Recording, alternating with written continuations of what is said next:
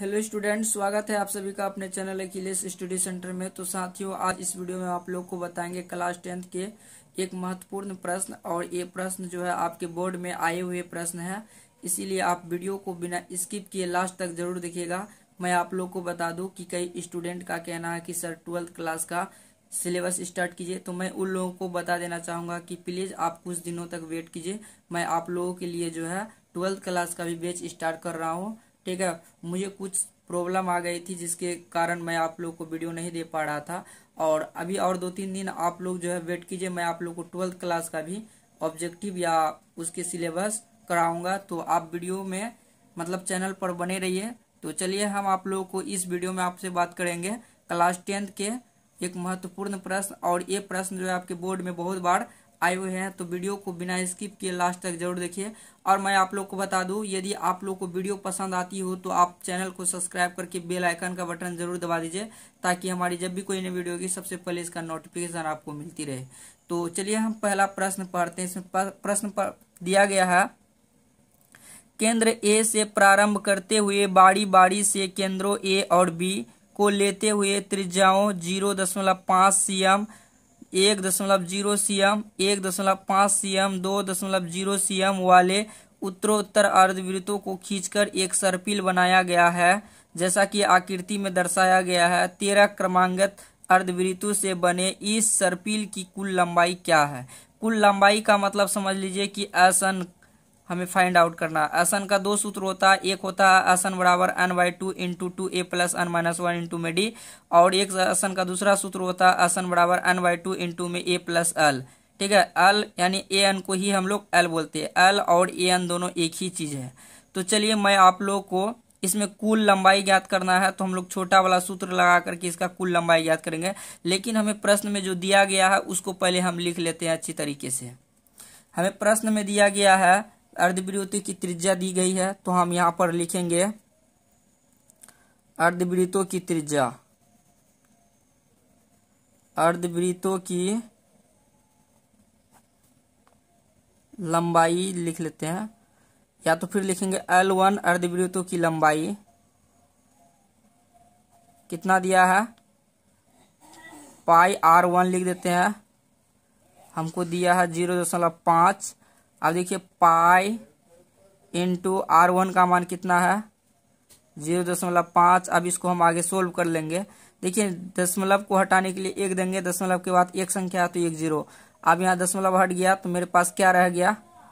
Pi into पाँच बटे दस। इसको हम कैंसिल कर देंगे, पाँच एक हम पाँच पाँच दुना दस। तो पाई को एक से गुना कर देंगे तो पाई और बटे में टू है तो टू तो मतलब एल वन का मान हमें कितना मिल गया? पाई बटे टू इसी प्रकार हम L2 का मान निकालेंगे। तो चलिए हम L2 का भी मान निकालते हैं। तो हम यहाँ लिख देंगे L2 अर्धवृत्त की लंबाई। तो आप लोग को लिख लेना है pi R two pi into R two का मान कितना दिया गया है? दूसरा त्रिज्या आप यहाँ पर देख सकते हैं। वन पॉइंट ज़ीरो तो यहाँ पर लिख देंगे वन अब पाई को वन से मल्टीप्लाई कर देंगे तो क्या आ जाएगा? पाई आ जाएगा। पॉइंट के बाद ज़ीरो का कोई मतलब नहीं रहता है। इसी तरह से हम एल थ्री का निकालेंगे तो हम लिख देंगे एल थ्री अर्धवृत्तों की लंबाई।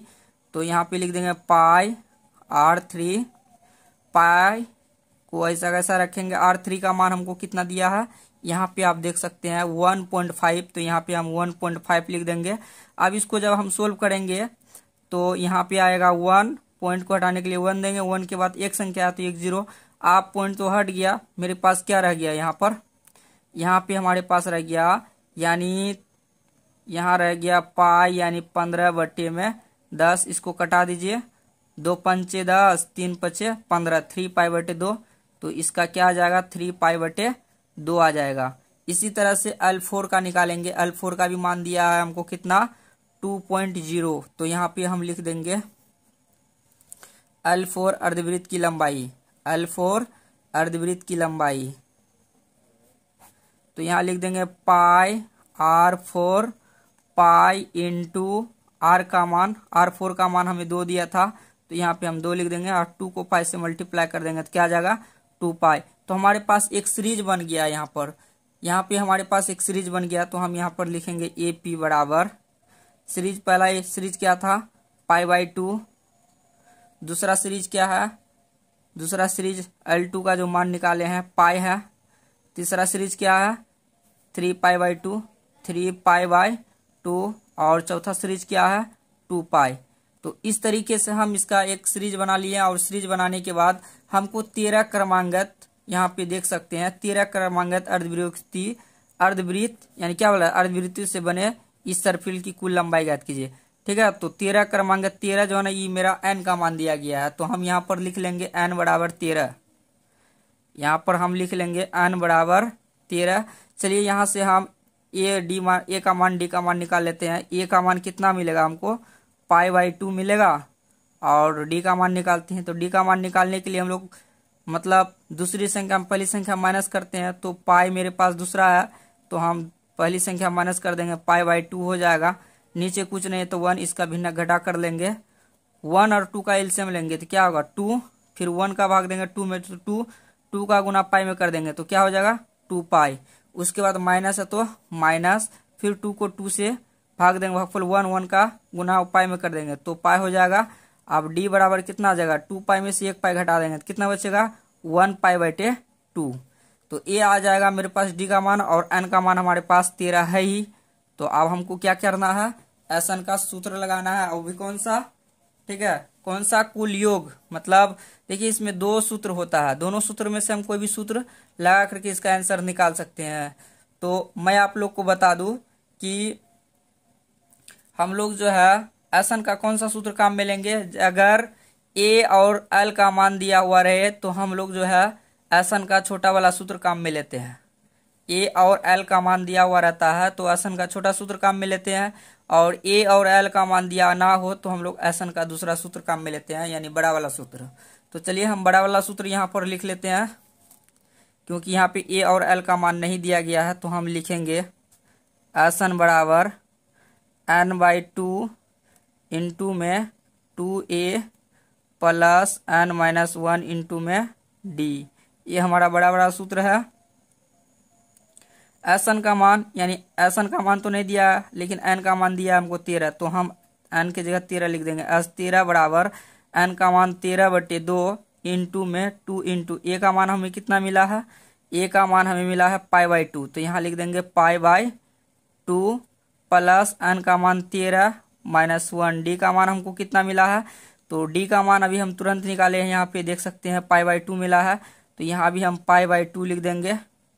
ठीक है? चलिए अब इसको आगे सरल कर लेते हैं। अस तेरह बराबर अस तेरह बराबर, तेरह बट्टे दो, टू से टू ये कैंसिल हो जाएँगे। तो क्या बचने वाला है? पाई प्लस में तेरह में से एक चल जाएगा तो बारह इंटू में क्या रह जाएगा? Pi by two. अब इसको यहाँ से कटा दीजिए छह दुना बारह। तो तेरह बटे दो, अब यहाँ पे क्या हो जाएगा? पाई प्लस सिक्स को पाई से गुना कर देंगे तो सिक्स पाई हो जाएगा। और तेरह बटे टू है तो तेरह बटे टू होगा। उसके बाद हम इसको अब आगे सरल कर लेंगे। अब यहाँ पे देखिए, एक पाई और छह पाई, क्या हो जाएगा? सात पाई। तो यहाँ लिख देंगे, सात पाई। अब देखिए, पाई का मान क्या होता है? बाईस बटे सात तो हम पाई का मान बाईस बटे सात लेंगे, क्योंकि ऊपर में कहा भी गया था क्वेश्चन के अंदर कि पाई का मान बाईस बटे सात लीजिए। तो देखिए, हम इसको यहाँ पे सरल कर लेते हैं। तेरह बटे दो इंटू सेवन इंटू पाई का मान बाईस बटे सात तो सात ऊपर और बाईस नीचे। तो यहाँ पे क्या हो जाएगा? तो यहाँ पे देख सकते हैं आप पाई का मान हमारे पास कितना आ गया? बाईस बटे सात। तो बाईस बटे सात हो गया। तो यहाँ पे देखिए हम बाईस बटे सात लिख देंगे, बाईस बटे सात लिख देंगे। सात से सात ये कैंसिल हो जाएँगे ग्यारह और यहाँ पे हो जाएगा ग्यारह दुना बाईस तो तेरह गुना ग्यारह बच जाएगा। अब इसको इससे गुना कर दीजिए। ग्यारह ग्यारह को तेरह से गुना कर दीजिए। कितना आएगा? ग्यारह तेरह तैतीस के तीन हासिल। तीन, ग्यारह और तीन, चौदह। तो यहाँ पे आ जाएगा आपका एक सौ तैतालीस सेंटीमीटर। तो इस तरीके से हम इस क्वेश्चन को सोल्व कर सकते हैं। आपको तो लगता है कि ये क्वेश्चन बहुत बड़ा सा है, लेकिन इसको जब सोल्व करिएगा तो बहुत छोटा क्वेश्चन इसका होगा। तो इस तरीके से हम इस क्वेश्चन को सोल्व कर सकते हैं। यदि आप इसका स्क्रीनशॉट लेना चाहते हैं तो आपको स्क्रीनशॉट हम दे देते हैं। ये आपका पहला स्क्रीनशॉट है। इसी तरह से आप यहाँ से एक दूसरा स्क्रीनशॉट ले सकते हैं आप। और ये आपका लास्ट स्क्रीनशॉट रहा। यहाँ से आप पूरा स्क्रीनशॉट लेकर के इसको अपना नोटबुक में उतार सकते हैं। इसको देखिए, बनावट इसकी अगर समझ आते हैं ना तो आप जो है खुद से बनाने की कोशिश कीजिए। अगर खुद से बनाने की कोशिश कीजिएगा तो ज़रूर आप पे ये बनने लगेगा। ठीक है? तो इस तरीके से हम इस क्वेश्चन को सोल्व कर सकते हैं। तो ये क्वेश्चन सोल्व करने का तरीका मेरा अच्छा लगा हो तो प्लीज़ आप वीडियो को लाइक कर दीजिए। चैनल पर नए होंगे तो चैनल को सब्सक्राइब करके बेल आइकन का बटन दबा दीजिए और अपने दोस्तों में भी शेयर कर दीजिएगा ताकि उसको भी इस चीज़ का लाभ मिल सके। और मैं आप लोग को बता दूँ कि आप लोग कमेंट कीजिए। आप लोग कमेंट नहीं करते। आप लोग कमेंट करने में बहुत कंजूसी करते हैं। कमेंट कीजिएगा जिस टॉपिक पर आपको वीडियो चाहिए, उस टॉपिक पर कमेंट कीजिए। मैं गारंटी लेता हूँ, उस टॉपिक पर वीडियो अगर नहीं बना पाऊँगा तो मेरा जीना बेकार हो जाएगा। इसीलिए आप हमें जो है कमेंट कीजिए ताकि मैं आप लोगों को जो है उस चीज़ को पूरा कर सकूँ। तो फिर मिलते हैं एक नए वीडियो में नए टॉपिक के साथ। तब तक के लिए थैंक यू।